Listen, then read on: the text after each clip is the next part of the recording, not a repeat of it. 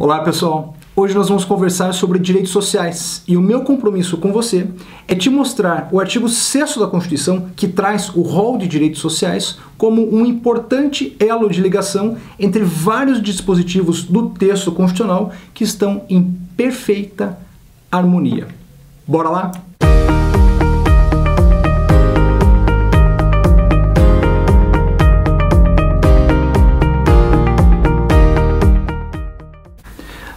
Começarmos com o pé direito a nossa conversa sobre direitos sociais, eu te convido para que nós paremos primeiro para pensar sobre um contexto um pouco mais abrangente, que é o modelo de Estado adotado pela República Federativa do Brasil quando o assunto é direito de primeira geração, direito de segunda geração. E esse modelo de Estado é o modelo de Estado social.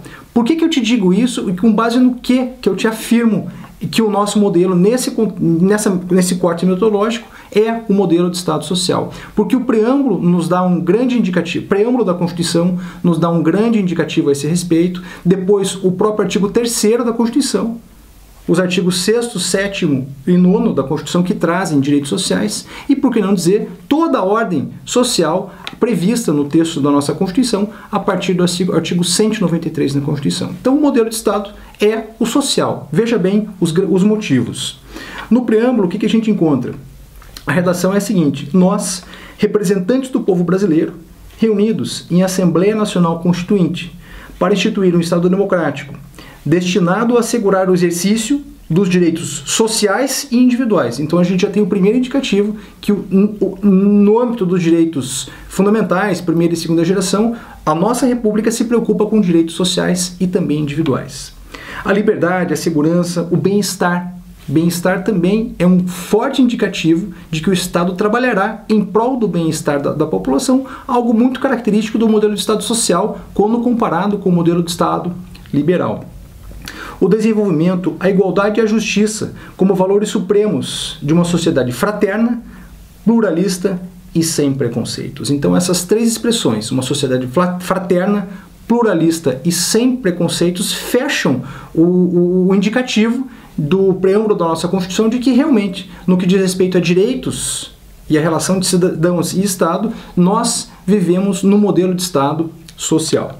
Já o artigo 3 da Constituição, ele traz nada mais nada menos do que os objetivos fundamentais da nossa república, que são os seguintes: construir uma sociedade livre, justa e solidária garantir o desenvolvimento nacional, erradicar a pobreza e a marginalização e reduzir as desigualdades sociais e regionais, promover o bem de todos, sem preconceito de origem, raça, sexo, cor, idade e quaisquer outras formas de discriminação. Ou seja, o artigo 3 da nossa Constituição, ao traçar esses grandes objetivos fundamentais, nos mostra para onde nós estamos indo, qual, quais são os horizontes que nós, enquanto povo, enquanto república, buscamos em nosso contexto.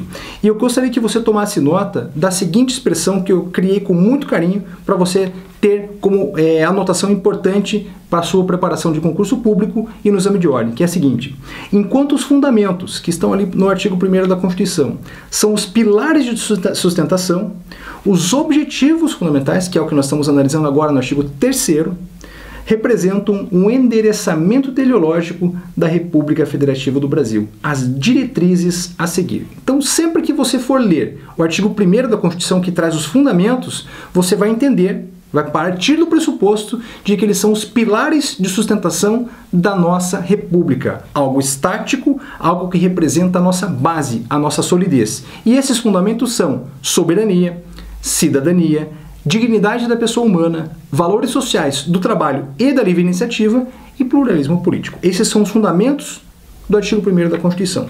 Quando a gente olha para esse nosso objeto agora, que são os objetivos fundamentais da República, no artigo 3 nós temos metas a seguir, diretrizes a, a seguir e, e, por que não dizer, horizontes a alcançar. Por isso que as, os objetivos fundamentais representam para nós algo muito mais dinâmico, algo que depende precisamente de uma grande união de esforços, seja da população, seja principalmente do Estado, através de um modelo de Estado social. Um Estado que pratica ações, pratica atitudes em prol do alcance, em prol do alcançar desses grandes objetivos fundamentais previstos no artigo terceiro da Constituição. E isso faz com que a gente possa dizer com toda clareza e com toda certeza.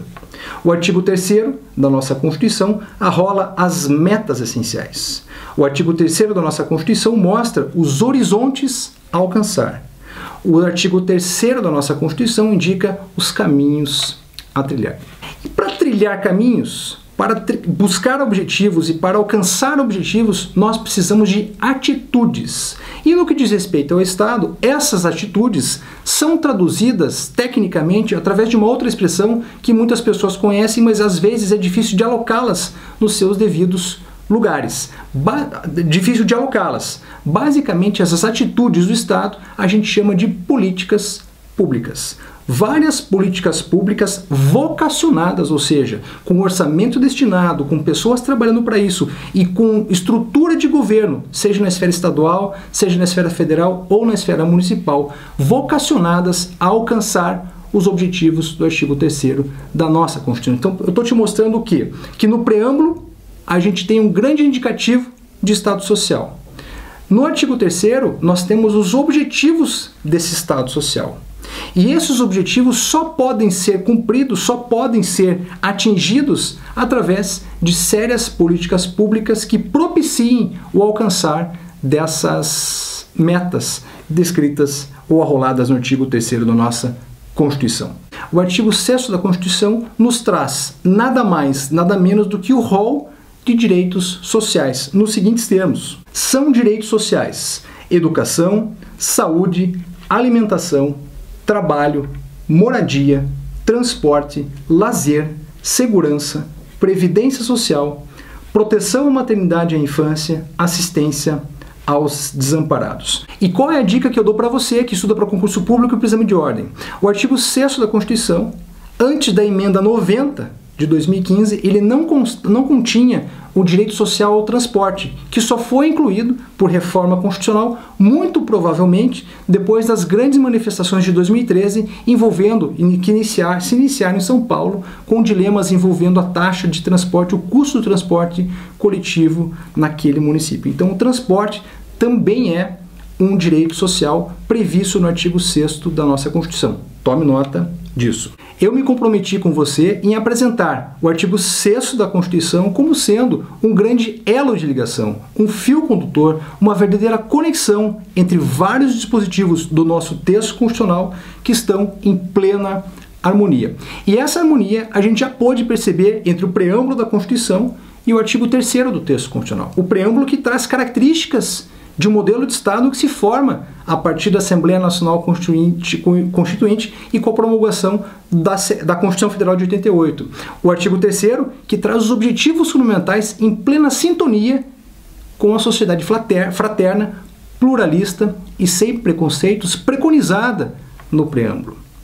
O artigo 6 esse elo de ligação, ele traz a relação de direitos sociais nesse modelo de Estado que busca, através de políticas públicas, alcançar determinados objetivos. E o elo de ligação do artigo 6 serve justamente para nós percebermos que as políticas públicas preconizadas, propugnadas no artigo 3 da Constituição, elas se conectam com o rol do, de direitos sociais do artigo 6 e aí sim elas se espalham lá para o artigo 193 e seguintes quando a gente olha a ordem social toda a ordem social do texto da nossa Constituição é vocacionada a aparelhar políticas públicas sérias em busca dos nobres objetivos previstos, estipulados no artigo 3 da Constituição.